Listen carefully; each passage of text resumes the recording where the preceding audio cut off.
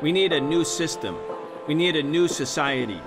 We need to demand that which may have sounded impossible even a few weeks ago, but is not only realizable, but an imperative necessity.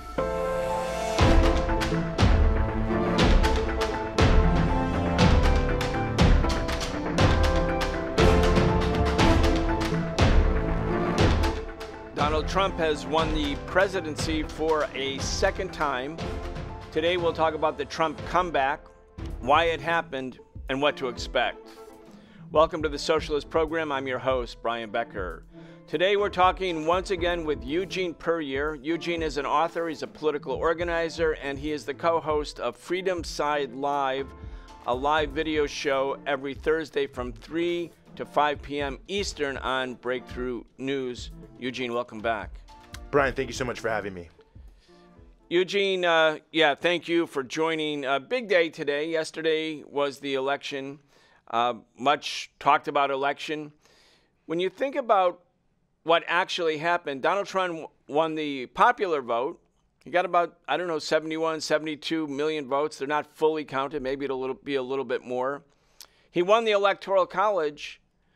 I mean, four years ago, Eugene, uh, Joe Biden won by a great a greater margin than that in terms of popular vote. The Democrats controlled the House and the Senate. What happened, from your point of view? Yes, well, there's quite a bit here, and I think when we look at the overall issue of turnout, I mean, let's zero in on a couple points. I mean, obviously, turnout overall was lower. You see the Democrats in and of themselves, and of course, you know, some of these numbers we'll take them with a grain of salt because, as you mentioned, you know, they will change a little bit as more states come in. But I think, you know, you can take them as rough proxies. Uh, the Democrats losing something like 14 million votes, Trump losing nearly 2 million votes. I mean, very significantly, one of the major factors I think we just have to say is a lot of people who voted in the last election cycle just stayed home. Now, the question is, why did they stay home? Now, there are a lot of different reasons why that may be and why we may be seeing some of these pieces, but I want to hone in on one particular piece, Brian, and that is if you compare 2020 to 2024, the percentage of the electorate of people making under $100,000 went down 14 percent. And I'll just give you some specific numbers. It went down about 6% uh, of people making between $50 and $100,000, 4% for those making between $30 and $50,000, and 3% for those making under $30,000. But by and large, the vast majority of voters, because 70 4% of voters in 2020 and 60% of voters in 2024 are making under $100,000. So, in the subset of the demographic that makes up the majority of voters, you saw about a 14% decline, uh, roughly, in terms of the percentage they made up of the electorate. Now, I find that particularly notable because when you look at you know what's going on with the economy what people say uh, uh, is which people were saying was their major issue. It's kind of always the economy right? Because we live under capitalism. So you know your your paycheck is your ration card. So of course people are always going to be primarily concerned with how to have you know shelter food clothing so on and so forth. But again we are seeing this issue and we're at a moment where we are coming out of one of the largest inflationary spirals that many people have seen in their entire lifetime that is one of the most significant in this sort of you know know modern history that we can actually measure where the cost of living crisis in the United States for almost all people has skyrocketed. I mean, you have the Census Bureau household pulse survey saying that there's 155 million people roughly who are having trouble making ends meet week to week. 21 million people roughly that at least sometime in the past week actually went hungry. So the level of of hardship is so significant. I mean, you saw, you know, 90 some percent of black respondents under 30 just tell the New York Times that the economy was poor or fair. We've seen the New York Times poll that also showed something close to 70% of people in the United States thinks the economy needs to be massively transformed or completely torn down. I mean, you see a reality when you look at uh, inflation and wages where year over year, uh, wages have gone up about 4%, but the cost of housing has gone up about 4.9%. Uh, the cost of eating food away from home has gone up about 4%. The cost of electricity has gone up about 4%. So, you know, your rent isn't, your wages aren't keeping up with your rent. They're barely keeping up or basically on par with the cost of powering your home, your internet, your air conditioning, you know, your electricity in all certainly different regards. And, you know, the cost of going out with your friends to try to have a good time and forget some of these bad times has also basically been essentially the same increase in cost as your wages. And so you're seeing that people's ability to survive is not actually keeping up with their incomes. So then you put that together with the fact that you have a 14% reduction in terms of uh, percentage of the electorate of people making a hundred, uh, under $100,000 or $100,000 and below. And I think you can start to see that a big part of what took place in the 2024 election here was a large number of working class people just did not believe that either of the two party candidates had any you know, solution for this massive crisis that was affecting them. And many of them chose not to vote. And that heavily affected all of the other issues that, of course, uh, were playing into the election. And there are many other issues. I mean, of course, there was the anger with the Democratic Party uh, amongst, you know, many of its core supporters over their complicity and participation in the genocide in Gaza. There was the manipulation of the, the immigration issue here in the United States, where a lot of the economic hardship was sort of placed on the backs of immigrants and a lot of the popular discourse and where both major parties essentially pander to that reality. There is, you know, we're in a, in a, in a rapidly changing cultural environment in this America, and there is a huge amount of demagogy uh, around the issue, for instance, of trans rights and trying to uh, exploit the, the, you know, the various different views people may have um, uh, about the trans community that are incorrect or wrong or bigoted or whatever they may be. So you have a million different factors that we could lay out here, and I don't want to just say, you know, it's all one factor, Brian, but I think it's very notable that we are in a massive situation of economic crisis, cost of living crisis. In almost every single country, by the way, the leader who is in, that's had elections since 2021 to now, uh, the leader who is in power during this inflationary crisis has been turfed out, regardless of their politics. I think we're seeing a similar trend here in the United States of America that after the massive COVID 19 crisis, people have seen that there is this huge corporate smash and grab raid that drove up prices, you know, massively, uh, only for the, the, the, the the needs of corporate profiteering. And also, after we had seen over COVID how easy it is to uh, do things that help working class people, and people just could not fathom that the political system was offering them so little in terms of actual solutions to their core economic issues, in addition to the other issues you have, that you have tens of millions of people sit the election out, and you have many more people be very angry and oh, either vote directly against the Democrats or perhaps for a third party and preventing the Democrats from you know, building a broad based based coalition. Although it's worth saying that the third party difference was not enough to make the difference. But I think it speaks to the same point that people are outraged. They're not voting, they're voting for third parties, they're doing protest votes against the Democrats. I mean, Kamala Harris lost this race. The Biden administration, the Democratic Party, lost this race because they could not offer an alternative to the Republican far right agenda that also is offering no solutions, but was able to speak more substantially to a larger subset of the population. Kamala Harris ran really basically politically as a as what we used to call a Reagan Democrat. I mean, she kept uh, bemoaning the fact that, and so did Biden, that the Republican Party, which used to be the great party of Ronald Reagan, is now uh, dominated by Trump. And she has Dick Cheney and Liz Cheney and all of these warmongers uh, who like make up the military-industrial complex, and and who have been, you know, taking the country to war after war, looting the national treasury for endless war spending. I mean, it's almost a trillion a year. Uh, and then and then now blaming the country for going to the right. Like you see all of these liberal commentators who are pro Kamala Harris say, look, these um, these people in the United States are so backward, so reactionary. They voted for this racist, this reactionary, uh, xenophobe Donald Trump, this misogynist.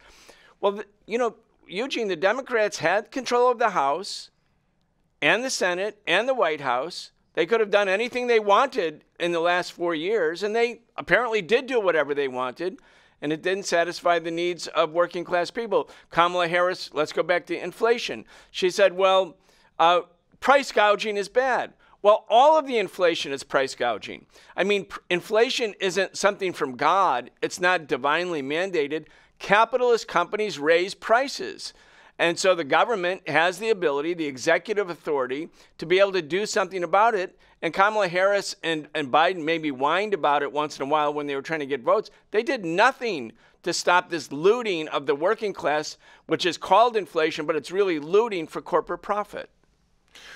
No, I think it's a, that's a very good point. I mean, the Economic Policy Institute, who's done a lot of study on this issue and sort of the height of the inflationary spiral, was saying that 50 odd cents of every dollar of inflation was going towards corporate profits. I think if you average it out from 2021 now to 2024, it's a little bit less than that, but you can still see a substantial amount of every dollar of inflation is going directly to corporate profits. So there is actually no doubt whatsoever that this was the case.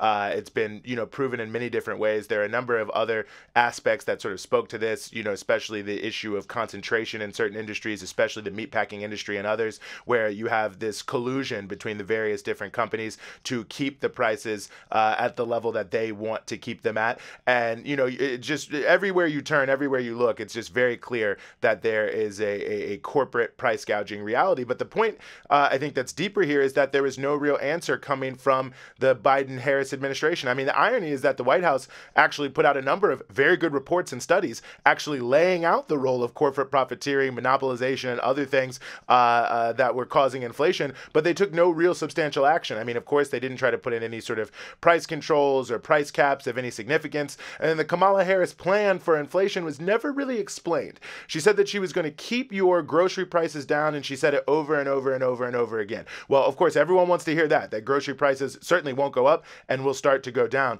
But she never really explained how she was going to do it. And the one thing that she sort of shied away from directly was the overall issue of, of price caps and saying they weren't going to do that. I, I, mean, it's maybe not even all that worth getting into it now that the election is over. But, you know, her plan essentially was to make it easier for the FTC, the Federal Trade Commission, to sue companies over uh, price gouging, which means that, you know, two years down the line after you get through some long uh, court case, a company might have to pay a fine and be held responsible. Now, of course, the thought from the people who support this kind of thing is is the fear of being charged like that, uh, you know, will help will prevent people from raising their prices. But I think we know that the fear of regulation doesn't really prevent big corporations in America from doing anything whatsoever. So, you know, it, it was never explained because it doesn't sound like it's going to work. It probably wouldn't work because, as a number of people pointed out, commentators at the time, there are dozens of states, including Republican led states, that have very similar provisions in, in, in uh, power, and none of them were really used to bring down prices in any substantial way over the course of the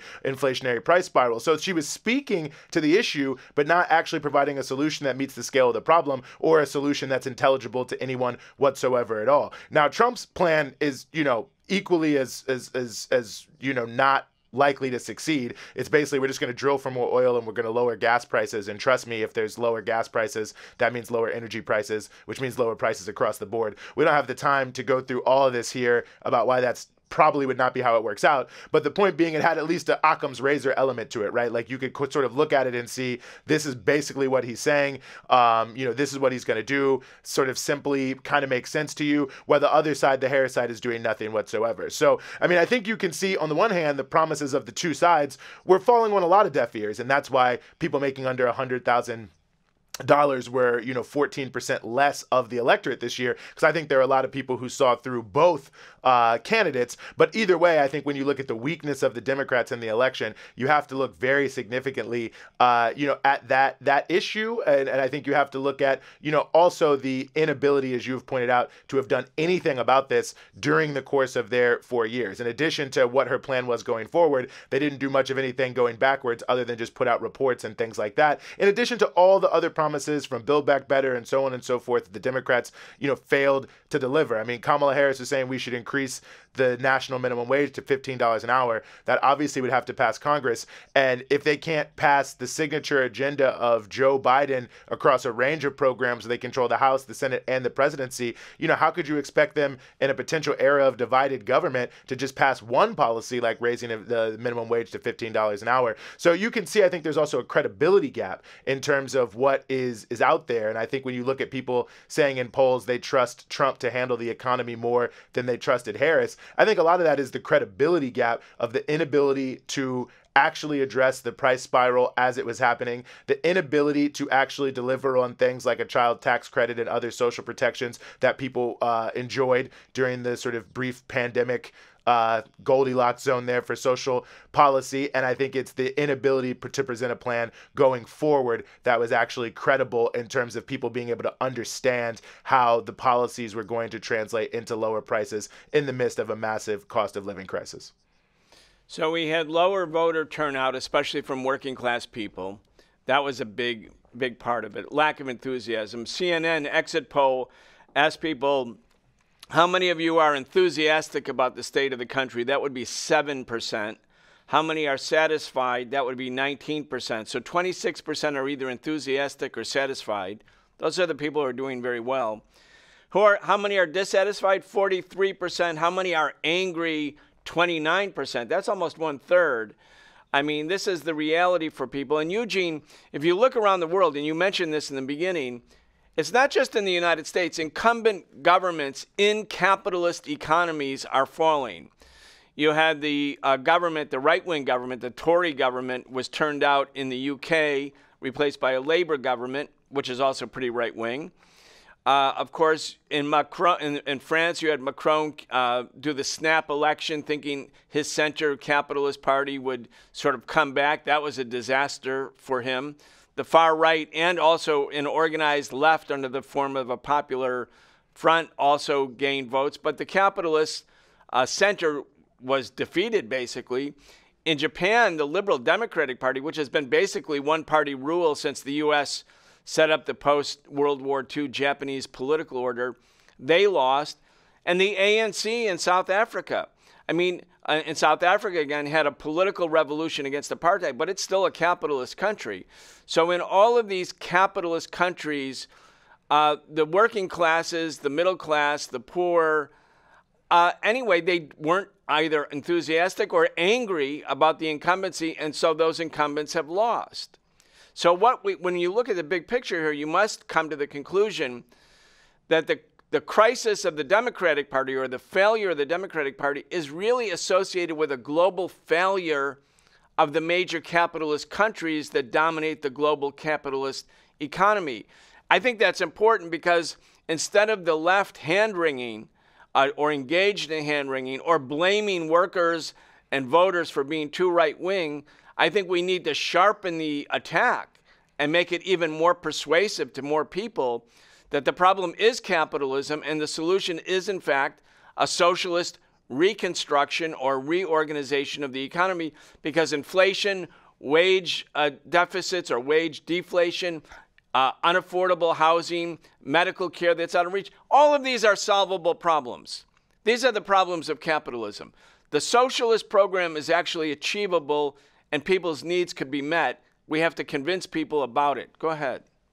I think it's a good point. You could also add Argentina. You could add uh, Australia to that. I mean, I think you could link it also in a major way to the state elections that we've seen in Germany, where the issue of the war in Ukraine, which has really been behind this massive spiraling cost of living crisis there, uh, became a flashpoint in these state elections that don't even, you know, actually reflect on national policy.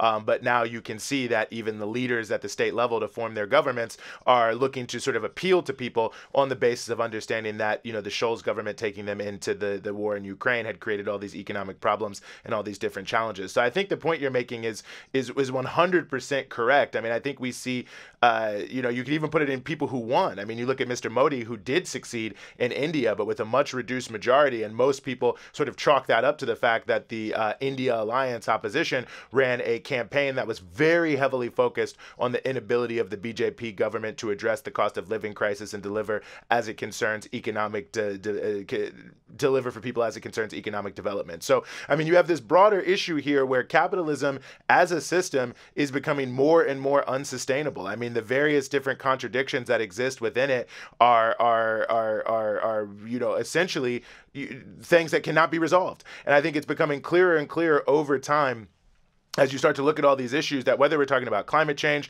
like you know there's there's more than enough food to feed everyone in the world.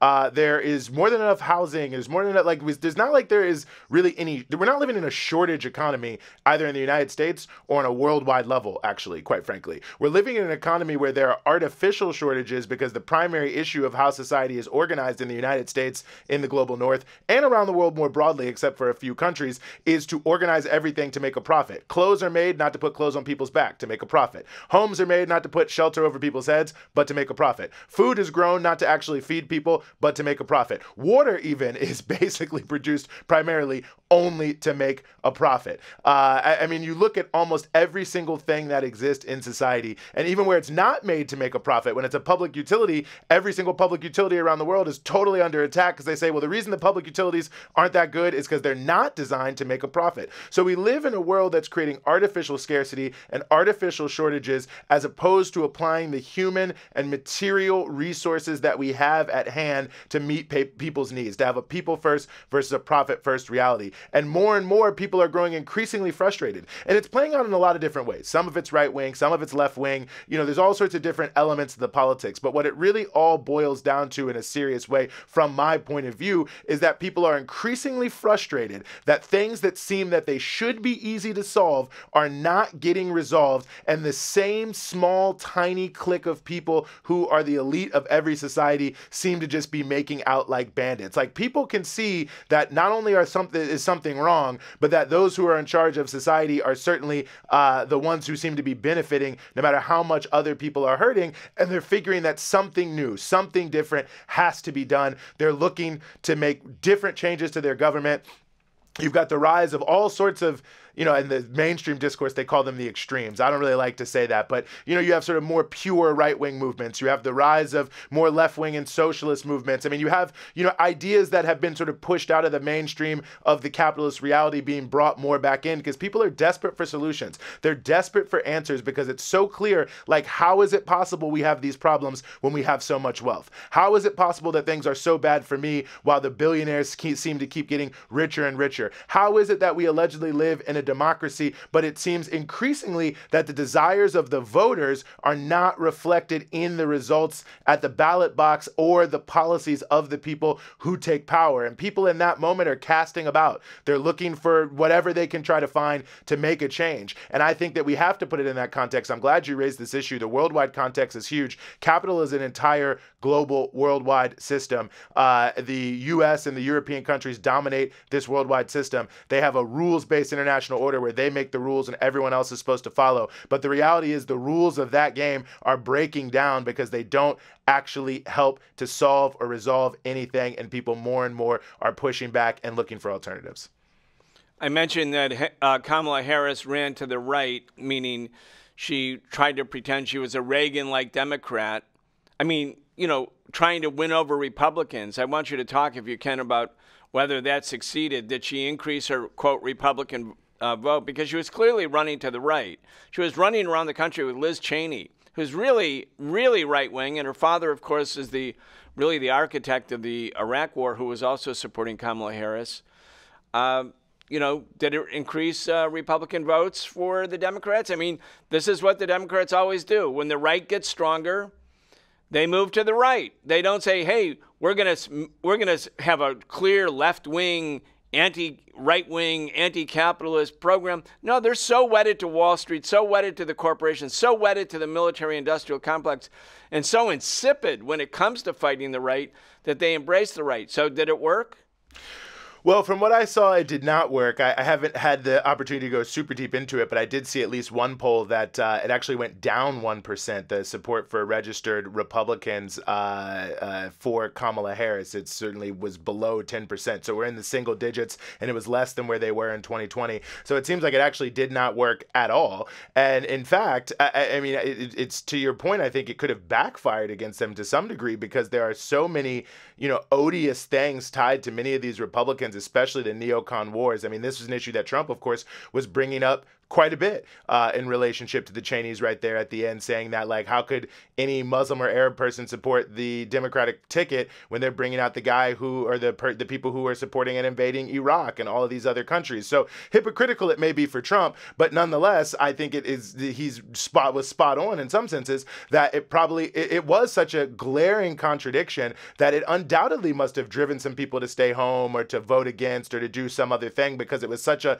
cynical approach. I mean, to say that that somehow, you know, there's this mythical Republican Party. I mean, they invaded Iraq in you know, I, we don't even know how many people they killed. Some people say a million, some people say a few hundred thousand, but it was so many people, we don't even have a good tally of how many people ki- were killed. And that in and of itself should tell you something. These are the people who presided over, you talk about democracy being on the ballot. I mean, you're talking about uh, Liz Cheney and some of these other people um, who were supporting her, who were supporting the, you know, global, worldwide black site torture network, the Guantanamo Bay torture camp that's misnamed the prison camp where they're holding people, uh, you know, completely lawlessly, uh, basically for their entire lives. They can't bring almost any of them to trial because they've tortured them so much. They're afraid even in a military commission. So basically, even in like a sham star chamber kind of court, they wouldn't be able to get some of the evidence in because they did so much to abuse those who are detainees at Guantanamo Bay.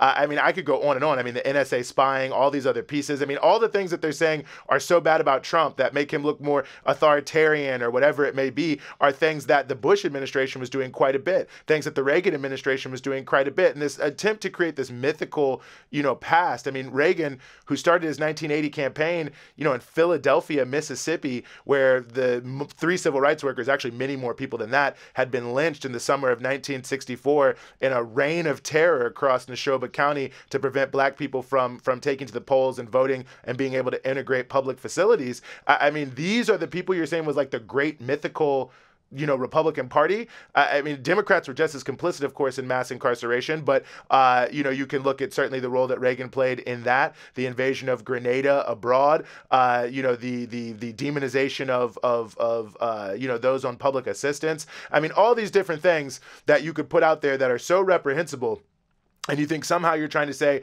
but those people are actually good as compared to Trump. I mean, they touted a letter from former Reagan and Bush administration officials as if somehow that should be moving to people. And it's notable because when you go back to those time periods in those elections 1980, 84, 92, 96, uh, you know, so on and so forth. The Democrats had very similar rhetoric about them then. That these people were the worst of the worst. You know, I, I mean, I, you could tell me better than than than than I can remember because I wasn't alive then. But I think the rhetoric of fascism was actually used against Reagan in 1980 by some elements of the liberal, uh, you know, sort of world. So I mean, you can see that uh, the the rhetoric at that time was, you know, not too dissimilar from the rhetoric they're using against Trump. But now those same people have been transformed into the greatest people ever, despite their records uh, and despite past denunciations.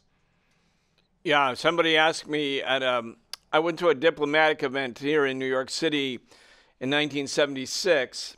That was the year Gerald Ford became the Republican nominee, and one of the people from this diplomatic embassy from this embassy said, "Who do you think will be president of the United States, the next president?" And I said, "Whoever it was that I said."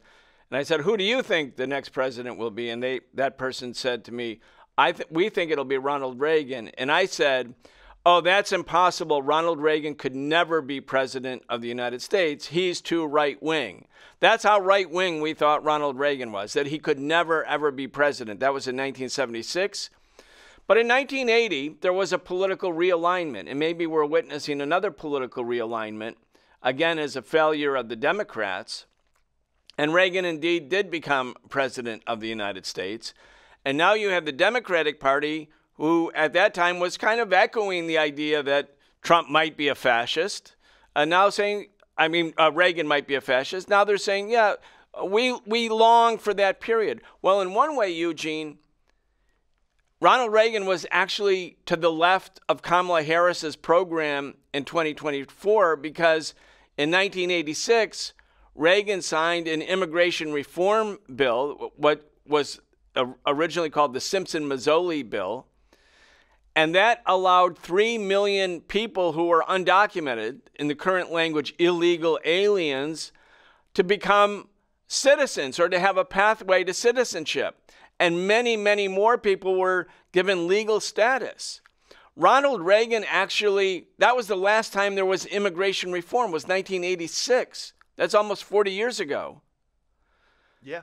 And no. you have Kamala Harris today saying, we're going to build a wall. We're going to make it. I mean, she sounded more, actually more like Trump about this get tough on immigrants at the end of her campaign than Ronald Reagan. In other words, if you really look at this trajectory in American politics, the Democrats are the party of Reagan.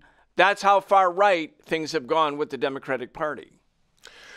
No, I think it's a good point, and and you know, listen, if you if you look at the Republican Party platform of 1980 when Reagan first ran, you might be surprised how much of what was in there was actually implemented by Bill Clinton in 1992 uh, through 1999, um, especially as it concerns many of the issues around public assistance, uh, you know, the so-called welfare reform, and so on and so forth. And let's just remember that in that 1992 campaign, that Bill Clinton really rolled out a whole tough on the border thing himself to try to criticize the Republicans similarly for not being tough enough on the border. And of course, once he becomes the president in the mid 1990s he actually pursues a border policy that is designed to drive people into the most dangerous parts of the desert, hoping they die in order to hopefully deter them, deterrence through death. I mean, and that was their open program. So this is part of, you know, really a long term agenda. I mean, I, I said to multiple people, you know, in the lead up to this election that when you look at like quote unquote Project 2025 and Trump, the biggest mistake we could make is to say that Trump is some sort of new phenomenon. Like, I actually view Reagan as a part one and, and Trump as a part two of the exact same program. And I'm glad you raised the issue of 1976 because I think we can date it to Reagan's primary run in the Republican uh, primary there in 1976 to the creation of this project, which was, you know, really initially incubated. Um, you know, starting with the, the the the Powell memo and this huge push by corporate America to wage an offensive against all of the things that they thought were terribly uh, terrible in terms of what was happening to the country, which was the rise of the Great Society programs, the elements of the Civil Rights Act that were infringing upon, you know, what they believe was infringing upon private property, the rise of the consumer rights movement, the rise of the environmental movement, the fact that there is a growing space in society for intellectual challenges to either capitalism as a whole or at least elements of capitalism. They felt, and this was the essence of the Powell memo, that they were losing control of society. The elites who ran society were worried that things were getting away from them a little bit.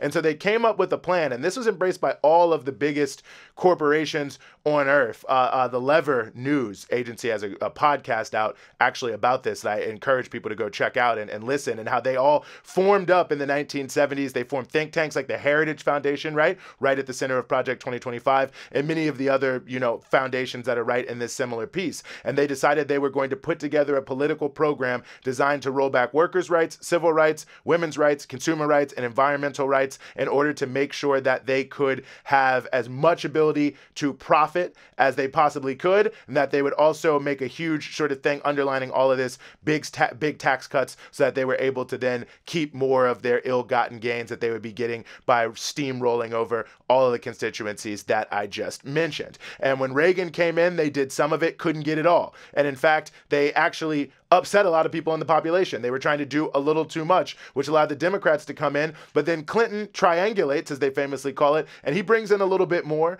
Bush comes in and brings a little bit more. But the kind of halfway measures of Clinton, of Bush, elements even of Obama, it didn't quite get it. The rate of profit for capitalists, which is, you know, what they care about, how much money do they get for how much money they put in, was still basically trending downward. It had some ups and some downs, but it wasn't like things were really coming back. So they needed part two to what they had started with part one under Ronald Reagan, and Trump was part two. This aggressive uh, acceleration of a right wing pro capitalist, pro business offensive to destroy workers, oppress people, uh, anyone who's, you know, demands make it so that you might have 50 cents left, less profit uh, in the pockets of the, the ultra rich and the super rich. And they pursued that program. So Trump is really a culmination of, I think, a lot of what was being started under Reagan in this attempt to actually roll back these reforms that were made because working class people, uh, black people, others had risen up and demanded elements of their rights, demanded changes to the economy, and so on and so forth. And insofar as there was a social crisis and a social explosion, the ruling elites in America found a way to adapt to that to try to buy people off, essentially. Um, but insofar as they've been able to roll it back, they want to. It hasn't been as aggressive as they'd like to, and they brought in Trump to be the agent of pushing this. So I think there's a strong connection between Reagan and Trump in terms of what their agenda really is. I think there's a continuity between them, uh, and I think there is an important recognition for all of us to see that this is not really a struggle between Democrats and Republicans. This is a struggle between the decline of capitalist dynamism and the rights of working class people. Because there is no way that you can improve the life of the average person in America without infringing upon the rights of capital to make profit at all cost. So those two things are continually colliding. And that's been our politics since 1976. And it's going to continue to be our politics until there's a political agenda that can start to define that battle and to assemble the political forces, which will include, by the way, some people who are voting and supporting for Donald Trump, assemble the political forces that can actually push back against entrenched power that is behind both major parties. I mean, you had 150 billionaire families contribute $2 billion to this election. You have $4.5 billion of outside money spent on this election. That's primarily dark money from rich people. They control both parties. They're pushing the same agenda. The Republicans, it's the, the Reaganite, you know, 1970s business corporate fight back that they haven't fully gotten in. They're going back to try to go on the offensive. The Democrats are like, we don't want to go that far because we're worried about provoking a social explosion, but we're going to make sure that it only continues to drift to the right and that there's no significant movement uh, that happens to the left. And they're moving everything in that direction. So if you want to move it back, there has to be a cogent political movement that can actually talk about that, put it in its right space, talk about the right solutions, which are socialism, and mobilize politically in order to move that agenda forward. I couldn't agree with you more, and, and it speaks to the the need not to become a tail to the Democratic Party's kite, not to follow this or that faction of the ruling class, for the working class socialist movement, for the unions, for the community organizations, for mass movements uh, to, to chart an independent path of the ruling class and in opposition to both wings of the ruling class because even though they fight so you know vigorously to see who's going to be in charge of the state with all of its lucrative contracts, they basically are representing the same class interests. And we can see this over and over again. And as you're pointing out, Eugene, it's not new.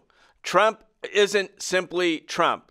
You might think of him as an anomaly in 2016. You can't think of him as an anomaly now. And Trump could not be where he is without massive support from sectors of the U.S. ruling class. So if we if we go back here now, we saw that in the 1960s, and I would say really between 1955 and 1970, there was what I have called, what we have called, a civil rights revolution. It didn't seize the means of production, it didn't overturn property relations uh, fundamentally in the United States, but it led to a massive change, uh, both political, social, economic, and cultural change in the United States. And as a result of the uprising of black America, which then also contributed to the uprising of women and then the gay movement and the disabled movement, all of these mass movements for social change they were so fierce, I mean, really fierce struggles. In 1968, when Dr. King was assassinated on April 4th, you know, 120 cities burned down. And then you had, uh, you know, massive social, economic reforms and concessions granted by the ruling class. Well, the ruling class never wanted to do all these things. They did it in spite of themselves because of the struggle. Now, if you go back to Reagan, Reagan nominated four of the nine Supreme Court justices. He was followed by George H.W. Bush, who nominated two more of the Supreme Court justices.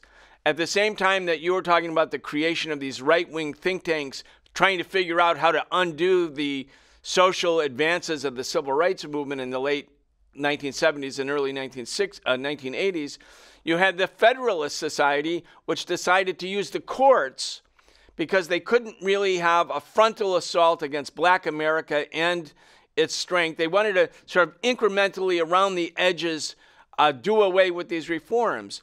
And so they developed this kind of school, the, the law school to Supreme Court or court pipeline.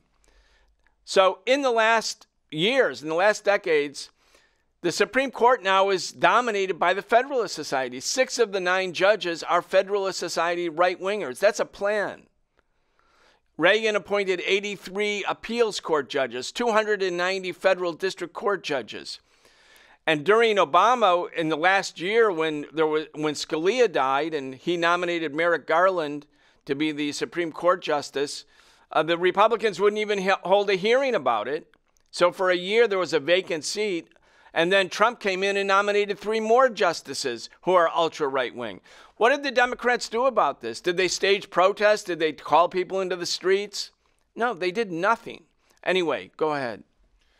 No, it's a great point you make there, and I'm glad you bring up the Federalist Society to connect two points here that we've been talking about. I mean, Leonard Leo, who is the you know is the sort of maestro of setting up the whole Federalist Society thing, has actually now become one of the key pivot points for all of the right wing dark money. So, like all of the huge sums of money coming from billionaires, people with hundreds of billions of dollars to support just all manner of right wing causes. Various foundations tied to him are, uh, you know, coordinating a lot of that. And I think that's actually a really important fact because it shows that he was so successful in organizing and, and executing this legal plan that you just mentioned that now all the big rich right wingers are like, well, yeah, like let's get this guy to coordinate the whole thing. Um, and I think it just speaks so much to the nexus of big money and this far right offensive on so many different levels that is really about you know making sure that there are no hands tied by uh, uh, the capitalist the corporation uh, you know of, that the corp- capitalist corporations don't have their hands tied. I mean to speak to your point about the civil rights movement, I, I mean in a way it's worth noting because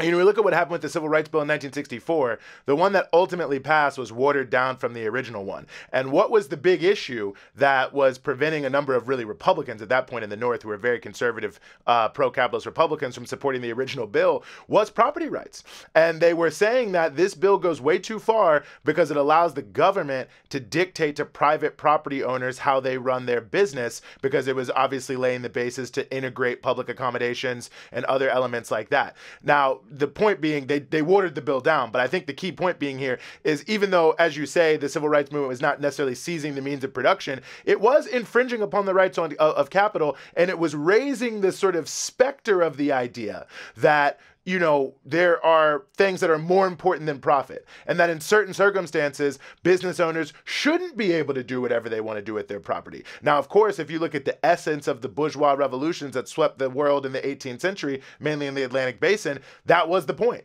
that your property was sacrosanct and you should be able to do whatever you want. And if the government wanted to do anything with it, they had to compensate you for it. But the Civil Rights Act was starting to say, well, you know, listen, in certain circumstances, we might just force you to do something. The same thing with the consumer rights rights movement. And I think you have to connect those two aspects as well. I mean, you know, when you're challenging the entrenched power structure of the Jim Crow South, it wasn't just racism, but the Jim Crow solid South political system. These people were the most anti communist, the most pro business, many of them deeply anti Semitic, anti Catholic, like real reactionary people. And having a solid South political bloc helped drag the whole political scene to the right. So once the civil rights movement started to break that up, the political possibilities for progressive policy became bigger because they had broken up the sort of traditional uh, uh, bridle that was put on the political system by the capitalist class, by the with the Solid South, and they hadn't yet figured out something to contain it. So the civil rights movement, the consumer rights movement, the environmental movement, the women's movement,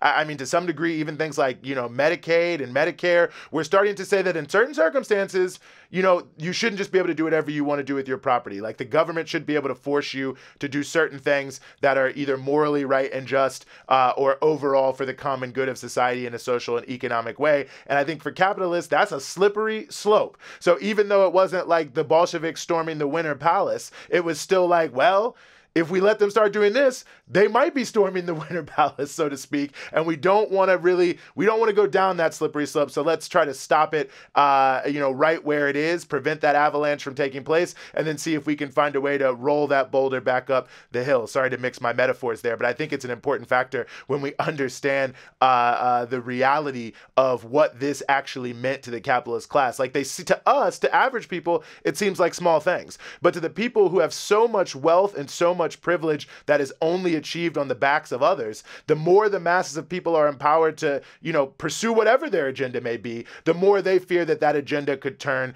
against them. I mean, this is in fact why Madison, James Madison, said in Federalist Paper number 10, one of the most important ones, the one about factions, you read it in your civics class, that the most durable faction is between rich people and poor people. And the importance of setting up a legislative infrastructure was to manage that relationship so that the interest of poor people did not over overtake the interests of rich people. I'm paraphrasing, but that is in its essence, you know, what the American democratic quote unquote system is all about. It's why there has been such a reaction, um, you know, to what has taken place from the labor movement, the civil rights movement, other things like that. And it's why there is this aggressive pro capitalist attempt that is bipartisan, funded by the richest people, designed to push that back as soon as they could. They couldn't do it right away. They had to acquiesce in the time of social explosion. And then in the mid 70s, you know, late 70s, when different things were happening and they saw their opportunity, they started moving very aggressively to roll it back. They're still doing the same thing today.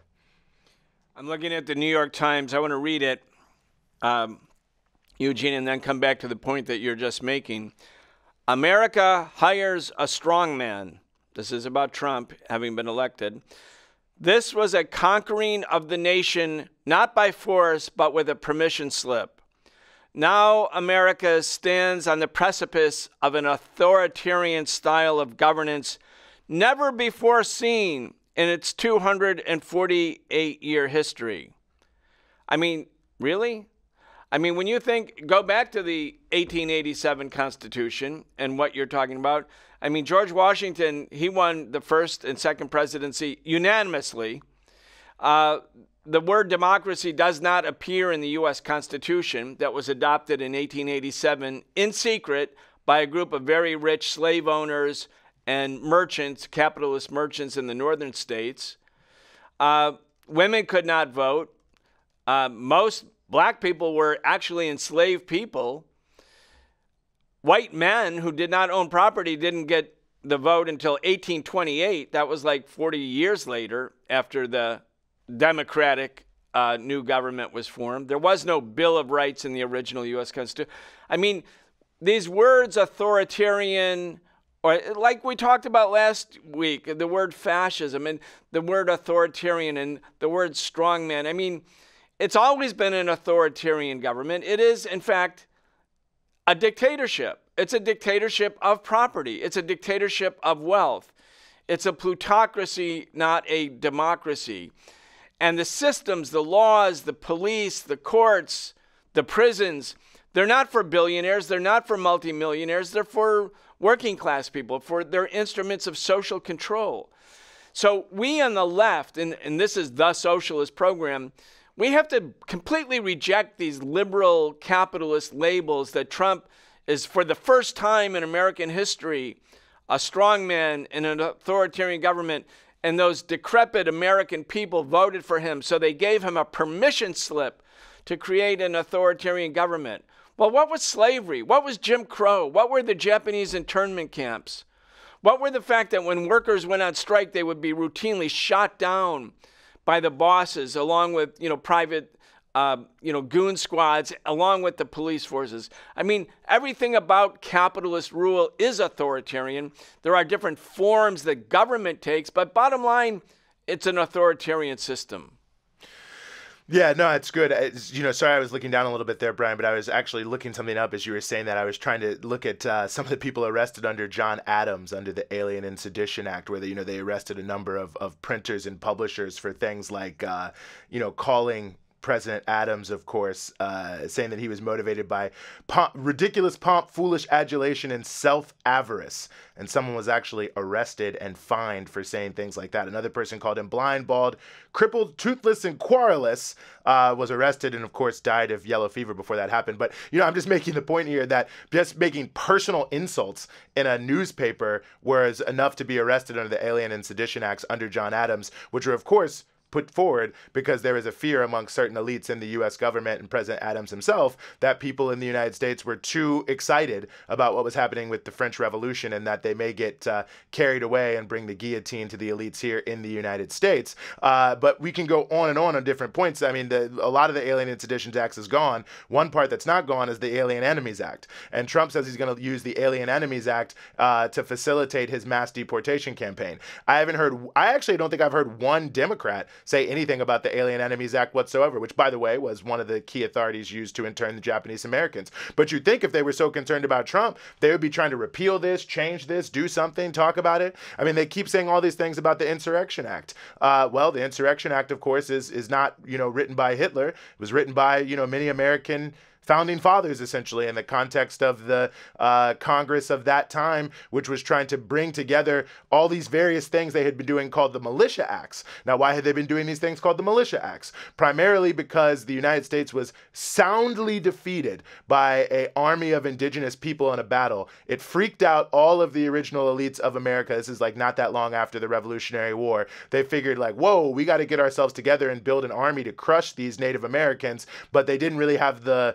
the, the, the situation to do it yet. So they started to find a way to put the militias under federal control and bring them together to have a stronger instrument to wage uh, war, a genocidal war against indigenous people. And then on top of that, they realized that these rebellions were starting to happen in what was then the Western back countries around taxes, around different things like that. But basically, poor people feeling like the government, or, or relatively poor people, feeling like the government was putting too much on them, and people who were taking up arms to prevent tax collectors and court judgments and things like that to be held. And so they also needed to be put down by the military. So the Insurrection Act is rooted basically in the genocide of Native Americans and the desire to put down poor people who are rising up against the authority of the newly established state. Haven't heard one Democrat say, let's get rid of the Insurrection Act. So you're saying, well, Trump is, is Hitler, he's fascist, he's German. Well, I mean, all the things he's saying that they say are so bad that he's going to do, he's actually rooting them in U.S. law and in U.S. tradition. And so the idea, you know, I don't know what's happening at the New York Times. I mean, it is true that the New York Times digital staff is on strike.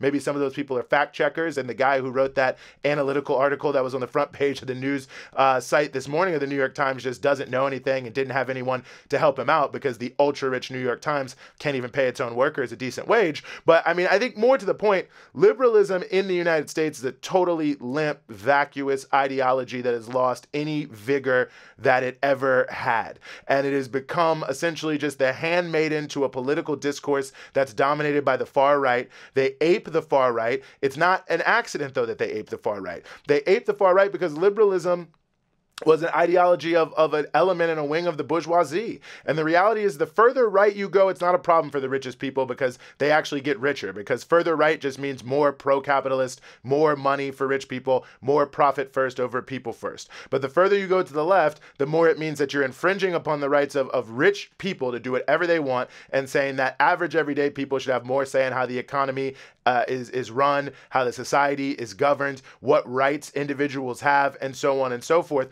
and rich people just aren't going to go for that. So even amongst the sort of liberal bourgeoisie, they have been, I think, willfully acquiescing to the drift to the right because they want a lot of what is happening in the drift to the right. They just don't want all of it. So they want their politicians to try to hold the line on a handful of things that they would prefer not to see, but to generally go along with the general drift. So I think that even statement by the New York Times shows how liberalism is is is, in the Democratic Party and everything around it. There's just no solution whatsoever whatsoever. It's the most ignorant statement you could possibly make. I mean, you already said it the genocide of Native Americans, Jim Crow, slavery, uh, the internment of Japanese Americans, which, by the way, at, at that time, you know, just before that, if you were from Japan and you lived in America and California, you couldn't even own land. I mean, that was the nature of what was happening in this country. So to say this is unprecedented, it's maybe really only unprecedented for the upper middle class white people who populate a large subset of the executive and writing tiers of the New York Times, the Washington Post, the CNNs, the major parts of, of, of the news, who their own historical background has in the, their parents, their grandparents, their great grandparents can't understand that at all because it was their parents, their great grandparents, their grandparents and great grandparents that set up these systems, you know, of Jim Crow, of the McCarthyism, of this, of that. I could go on and on and on here, but I think it just shows the historical ignorance, which is not a surprise when you think about it. Like we put all these things together, that it's become such a, a, a weak opposition to this drift to the right. Yeah. You know, those sheltered, privileged, upper middle class people who think they're so smart say such stupid things precisely because they are privileged and they are sheltered and they live in their own world. And, you know, to be able to talk about the U.S. being authoritarian for the first time in U.S. history shows, and I'm sure this person went to college, probably got a master's, considers themselves smart and educated, but that's stupid. That's dumb. Uh, but again, the stupidity uh, isn't organic. It doesn't come because somebody is stupid as an individual. It's a social phenomena. And, you know, again, that it also explains why the Democratic Party and these Democratic Party elites have so much trouble uh, winning over uh, working class people. And they always blame the working class. As soon as something something goes wrong for them, they blame the working class. Hillary Clinton did it. I mean, when you go back to the COVID relief program, whereby even started under Trump, where fam and then continued under Biden, but you know, during that period there was lots of economic assistance for masses of people because of the 60 million people were out of work. Working class families got $300 uh, $300 per child per month. That and that uh, reduced childhood poverty by 50% in one year, and then and then Biden let it go. And he spent all of his time talking to right wing Joe Manchin behind the scenes in closed door settings, begging Joe Manchin, this right winger from Wisconsin, also a capitalist, and his daughter's a capitalist, uh, begging them to like listen to uh, Biden's reform policy, the Build Back Better. And finally, Manchin said, no, I'm not going to vote for it. And Biden was like, okay. Well, that's why they can't attract and appeal to the working class. And it's we have to reject those people, including some people on the left, who say, look at how backward the working class is in the United States. They voted for Trump. Well, no, that's not the answer. We have to build a movement against capitalism. And it's not enough to just be anti Trump. I think if we take a policy of like, we have to fight Trump, stop Trump, Trump's an authoritarian. That's going to go nowhere. We need a working class program. We need to demand that the trillion dollars a year spent for death and destruction for imperialist wars be used for for flood relief, for hurricane relief, for you know so many people in the South who don't have uh, uh, flood insurance or wind insurance right now, who can't really rebuild their homes. People who, you know, one half of all of bankruptcies in the United States is because people can't pay their doctor's bills. Instead of spending uh, all of the tax dollars in the country for death and destruction, which is really just welfare for capitalist war make, uh, war profiteers, do it for the working class. Defend immigrant rights and immigrant families, many of whom have been here not in the last year or two when Venezuelans and Cubans came because of sanctions. They've been here for decades. Those are our brothers and sisters. Those are people who we work with. Defend them because it's the right thing to do. Don't join the right wing in the attacks. But in other words, a working class program that speaks to the needs of the working class against capitalism, that's the way to fight the right, not to hand wring and denounce and condemn people who happen to vote for Trump. The, the reason Trump won was no other reason than the failure of the capitalist Democratic Party, which in so many ways looks like the capitalist Republican Party. Anyway, Eugene, I'm going to give you the last word.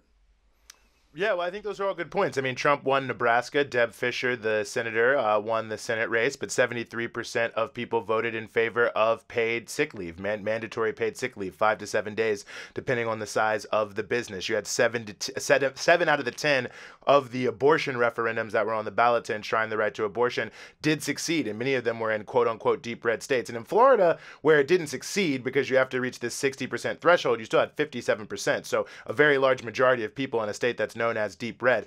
Alaska, not necessarily known as the world's most progressive state. A lot of Republicans, a lot of right wingers come out of Alaska. Uh, pretty overwhelmingly passed here. Oh, I didn't write down the exact situation, um, but overwhelmingly passed something called Measure One, which will increase the minimum wage to $15 an hour, require 40 hours of paid sick, li- paid sick leave, and very importantly, will actually ban captive audience meetings, right? So that's when you try to form a union and they make you go to these terrible meetings saying that you shouldn't join a union, so on and so forth. So pushing back against union busting. So there's a lot of different points I could make here, but I, I think the point I often make to a lot of people is that consciousness is not really linear. You know what I mean? People do hold contradictory views in their head. And there are a lot of people who voted for Trump for a range of reasons, who voted for Kamala for a range of reasons, who have all sorts of different beliefs, good, bad, and indifferent. And we can't just look at this sort of partisan red blue divide, Democrat Republican or divide, and think that that's some sort of end all be all, or that even that it represents a totalistic ideological viewpoint. I think amongst very few people, their vote does their vote represent a totalistic ideological viewpoint. And I think when you really look at a lot of sort of social science research, I think a lot of people generally the thing people hate about rancor and why like both sides getting along is relatively popular because there are many different things that people generally tend to support higher taxes on wealthy people tends to be relatively uh, majority support. I mean, there's so many different issues that often have very majority support. So I think there's actually less divide on a number of core issues than we think, but there are some issues where there are deep divides, and those issues tend to be the issues that are played on the most by the two major political parties to divide working class people and to split them up into different camps that they can exploit for their own vote catching. So it's not that if there's no difference between them, but I think it often misses the the, the strong similarities and the fact that we have a possibility to change politics in this country. But I think only if it's really rooted in the real roots of what the problems are, which then speak to what the real solutions of what the problems are, which I think then starts to lay the basis for bridging the gap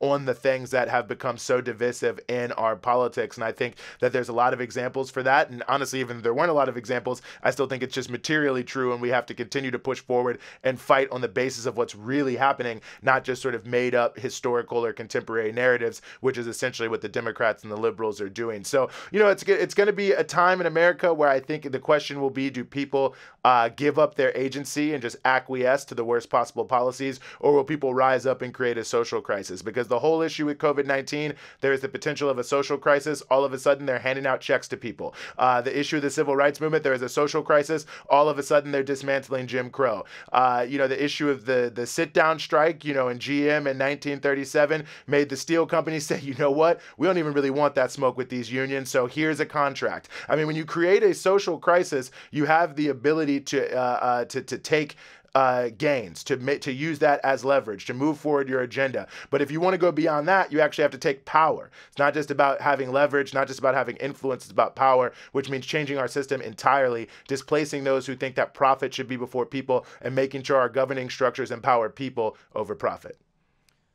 Couldn't agree with you more. People can make the change, Eugene. Uh, all of those things that you talked about the labor movement's gains, the unemployment insurance, the Wagner Act, the right to unionize, the end of segregation, the right to abortion, uh, the right to marriage equality.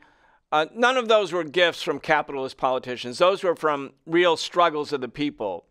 But we need a radical transformation in society so that all of these gains can never be reversed. And in fact, all of the needs of the working class and all of the people in society can be met. And as you also said, these are achievable things. This is not utopian. The only thing that inhibits and obstructs this reality from coming into existence is the capitalist system. But we, the people, have to build that movement. Eugene Puryear, thank you so much. Thanks for having me again.